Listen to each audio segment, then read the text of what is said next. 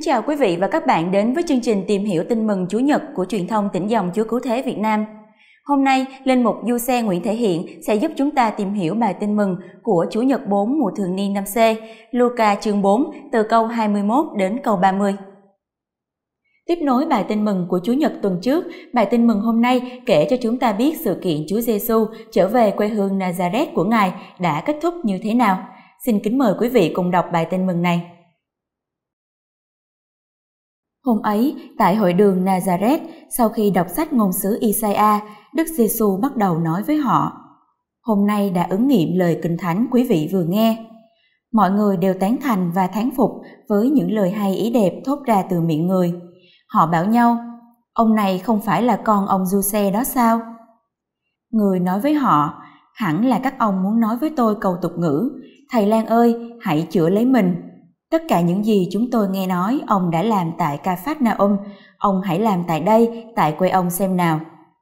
Người nói tiếp, tôi bảo thật các ông, không một ngôn sứ nào được chấp nhận tại quê hương mình. Thật vậy, tôi nói cho các ông hay, vào thời ông Elia, khi trời hạn hán suốt ba năm sáu tháng, cả nước phải đói kém dữ dội, thiếu gì bà quá ở trong nước Israel, thế mà ông không được sai đến giúp một bà nào cả nhưng chỉ được sai đến giúp bà quá thành Sarepta, miền Sidon. Cũng vậy, vào thời ngôn sứ Elisa, thiếu gì người mắc bệnh phong ở trong nước Israel, nhưng không một người nào được sạch, mà chỉ có ông Naaman, người xứ Syria thôi. Nghe vậy, mọi người trong hội đường đầy phẫn nộ, họ đứng dậy lôi người ra khỏi thành. Thành này được xây trên núi, họ kéo người lên tận đỉnh núi để xô người xuống vực, nhưng người băng qua chữa họ mà đi.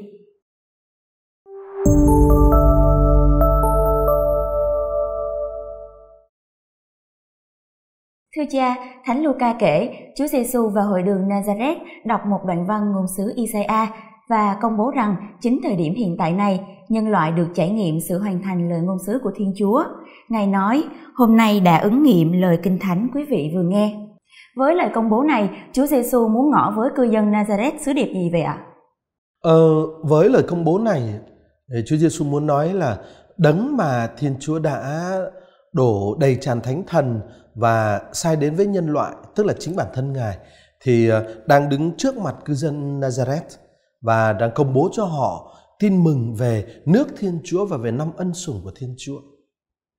Ở ngay tại đây và vào chính lúc này, lời hứa và chương trình cứu độ của Thiên Chúa đang được thực hiện rồi. Thưa cha, và sứ điệp đó có thể ảnh hưởng như thế nào trên cư dân Nazareth hôm ấy ạ? À? Đồng bào của Chúa Giêsu có thể học được rằng Thiên Chúa nói chuyện với dân của Ngài theo một cái cách thức rất là đặc biệt và rằng từ nay trở đi đó họ được mời gọi tin tưởng và lắng nghe đấng mà uh, nhờ đấng ấy Thiên Chúa ngỏ lời với họ.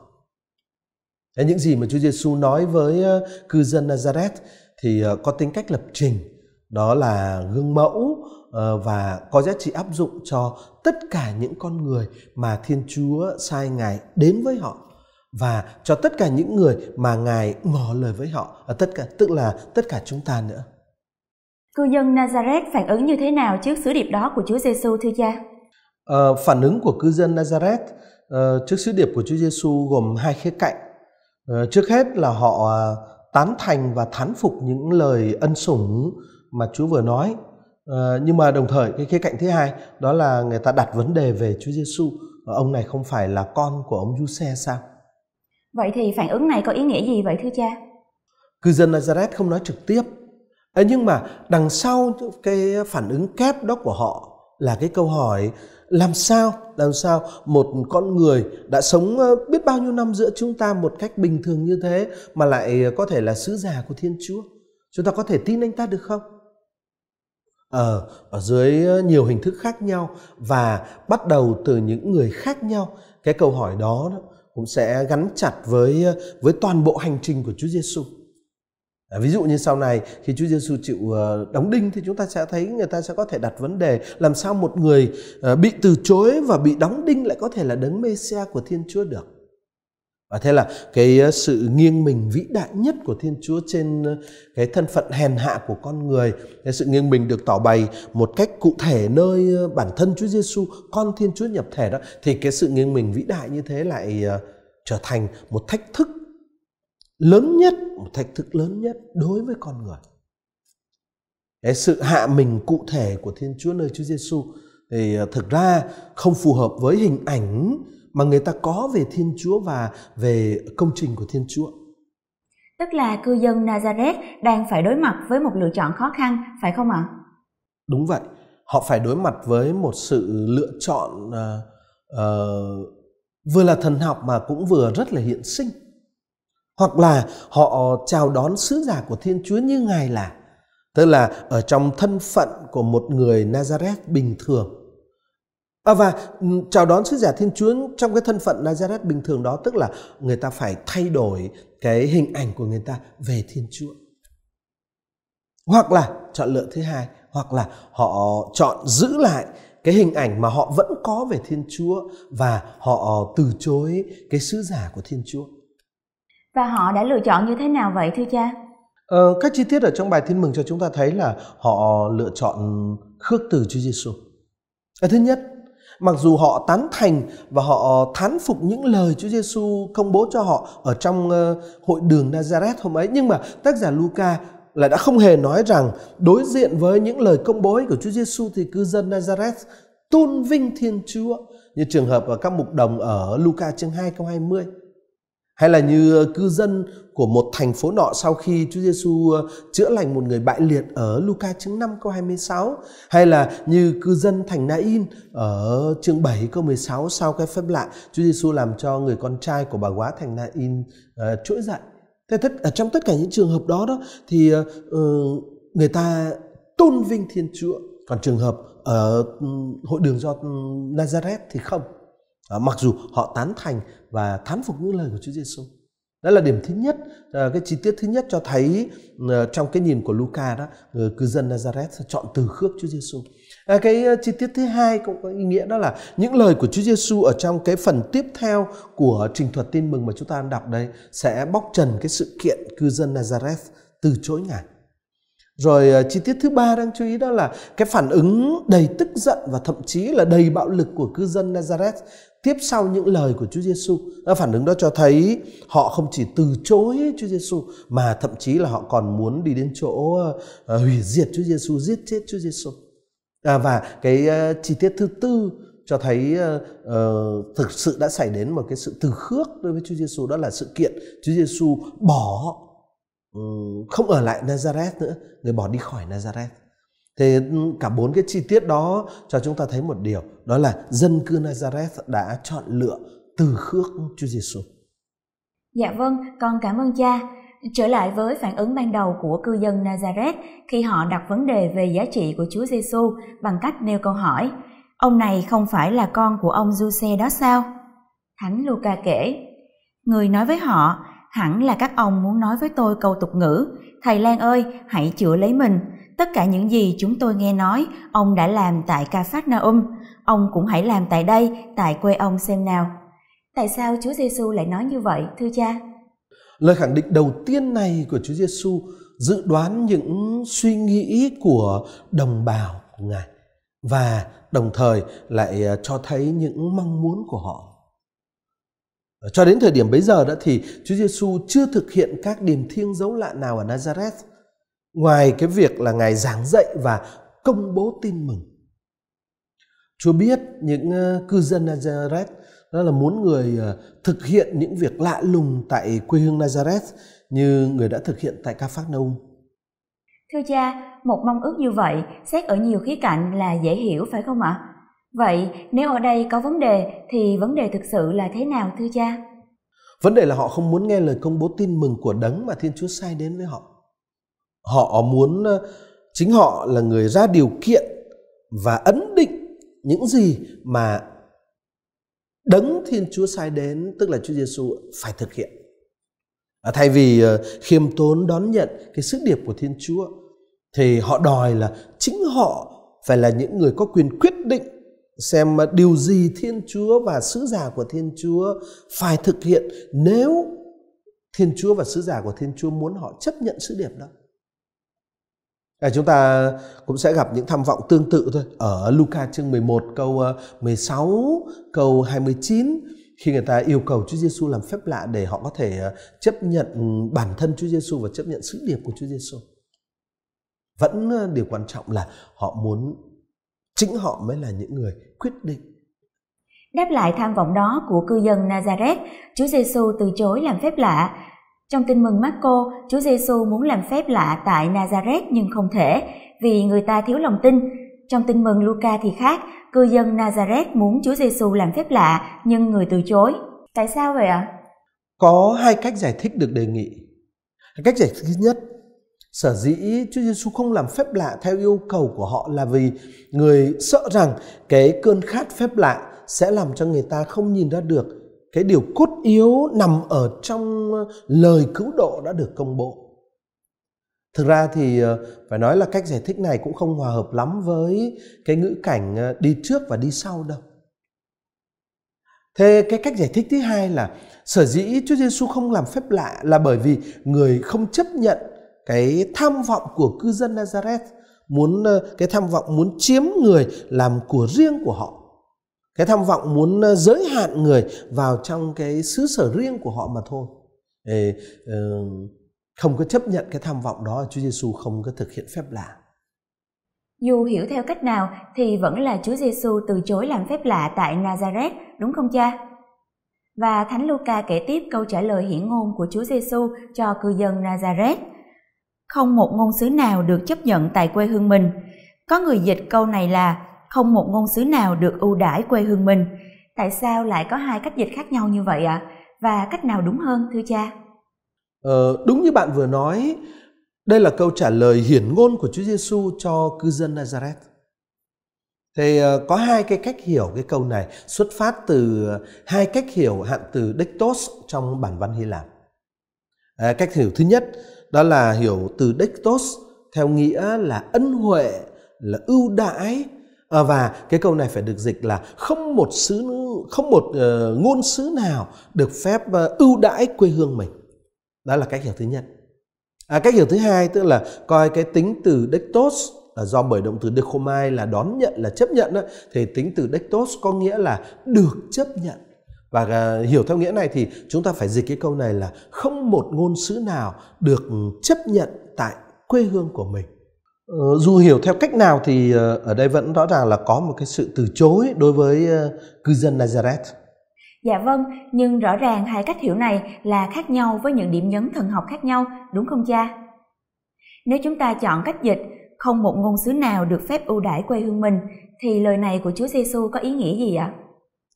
Ờ, theo cách hiểu này đó thì một số nhà nghiên cứu cho rằng Thánh Luca có ý khẳng định sẽ là không phù hợp với ý muốn của Thiên Chúa nếu vị ngôn sứ lại giới hạn cái hoạt động của Ngài tại quê hương xứ sở của mình mà thôi.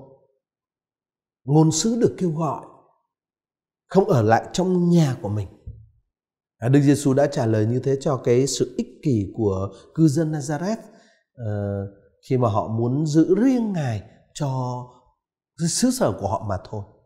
Và vậy thì theo cái cách hiểu này, cái lời của Chúa Giêsu ở đây không ám chỉ đến sự thất bại của lời rao giảng mà là nhấn mạnh đến cái tính cách khẩn thiết và phổ quát của sứ điệp cứu độ theo ý muốn của Thiên Chúa. Còn nếu chúng ta chọn như bản dịch chúng ta đang có là không một ngôn sứ nào được chấp nhận tại quê hương mình thì điểm nhấn sẽ là gì thưa cha? Nếu mà chọn ờ, theo cách hiểu này đấy thì câu này có nghĩa là uh, nếu cư dân Nazareth ờ, từ chối Chúa Giêsu thì điều đó vẫn không hề không hề làm giảm suy cái tư cách và cái giá trị ngôn sứ của Chúa Giêsu. Và trái lại là khác, cái sự từ chối đó còn củng cố giá trị ngôn sứ của Chúa Giêsu. Ở sự kiện Chúa Giêsu là ngôn sứ thật thì không hề tùy thuộc vào sự chuẩn nhận uh, của uh, cư dân ở Nazareth và Chúa Giêsu không ờ, bị bó buộc phải chứng tỏ cái tư cách ngôn sứ của mình bằng cách làm vừa lòng cư dân Nazareth hay là làm thỏa mãn cái tham vọng của họ. Dạ vâng, con xin cảm ơn cha. Rồi như để minh họa, Chúa Giêsu kể chuyện các ngôn sứ Elia và Elisa. Chuyện Elia và chuyện Elisa có liên hệ gì đến vấn đề đang diễn ra, thưa cha? Phải chăng Chúa Giêsu có ý nói là Thiên Chúa không sai Ngài đến với Nazareth và Israel, đúng không ạ? À, cả hai ngôn sứ Elia và Elisa đó thì đều là những ngôn sứ vĩ đại à, và là những ngôn sứ đích thực cho dân Israel. À, tuy nhiên, Thiên Chúa đã không gửi ngôn sứ Elia đến với một uh, quá phụ ở Israel mà là một quá phụ ngoại bang để bảo vệ cái người quá phụ đó và con trai của bà khỏi chết đói bằng một phép lạ. Và chúng ta có thể đọc ở trong ờ, sách các vua quyển thứ nhất chương ờ, 17 câu ờ, 8 đến câu 16. À, còn ngôn sứ Elisa là ngôn sứ vĩ đại và đích thực của Israel nhưng mà ông không chữa lành một người phong cú Israel mà là chữa lành một người Syria quan Naaman như chúng ta có thể thấy ở trong sách các vua quyển thứ hai chương 5 câu 1 cho đến câu 19.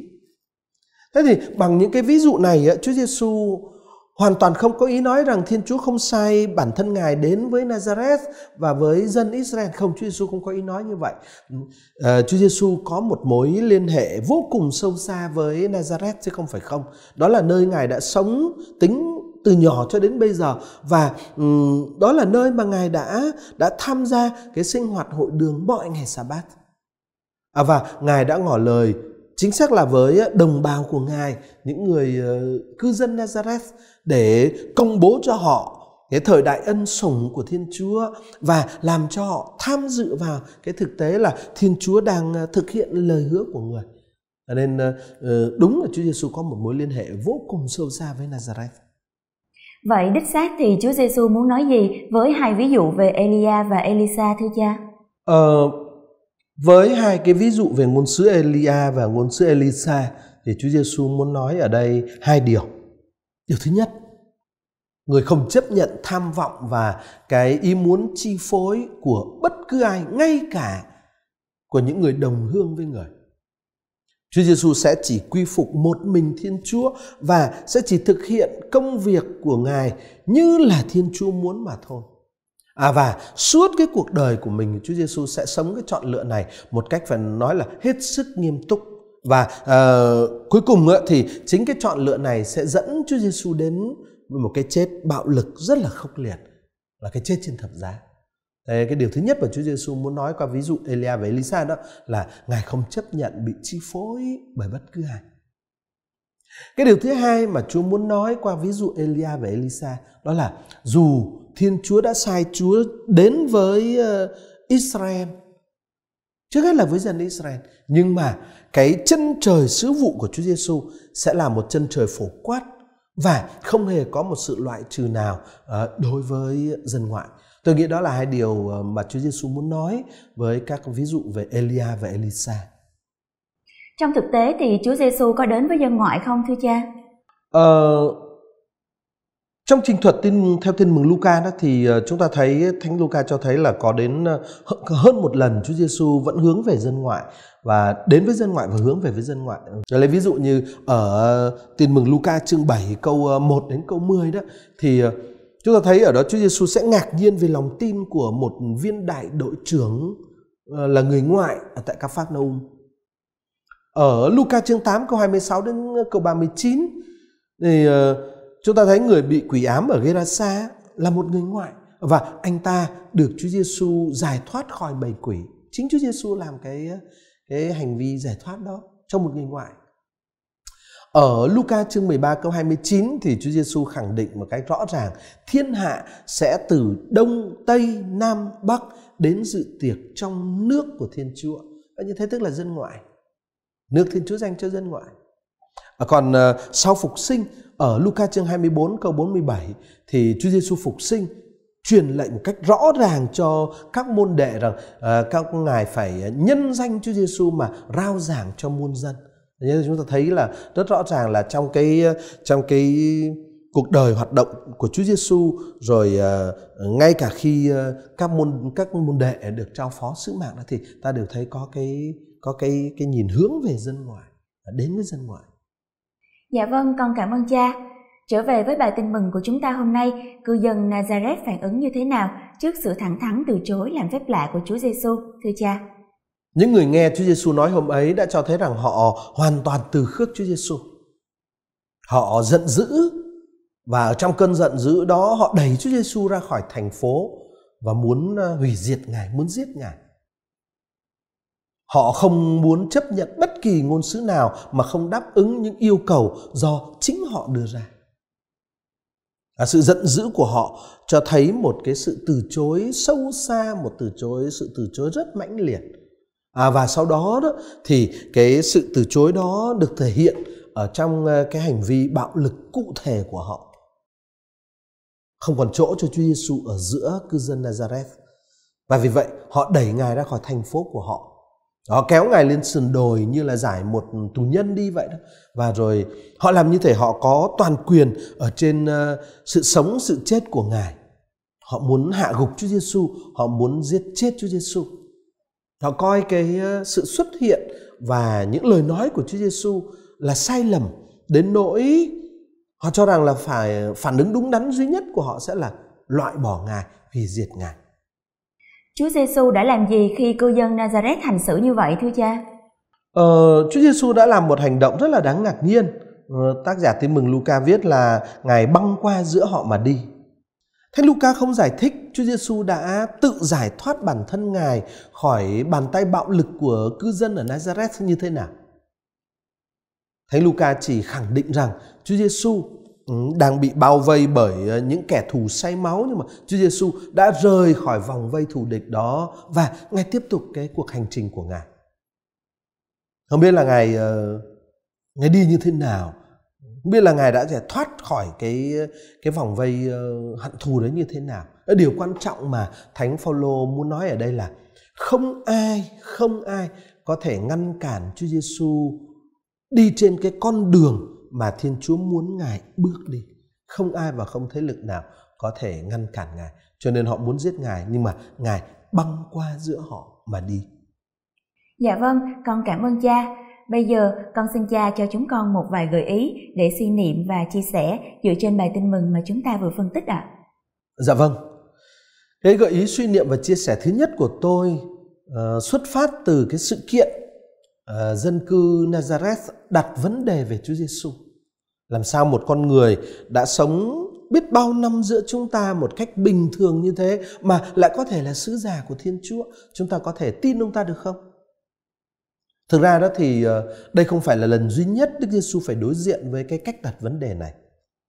Ở sau này thì người ta sẽ hỏi người bị treo trên thập giá này có thể là đấng Mêsia được ư?